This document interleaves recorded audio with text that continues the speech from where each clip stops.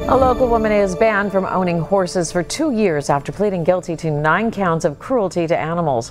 Animal control officers removed nine horses from property in Kenton County on December 22nd after authorities received a tip.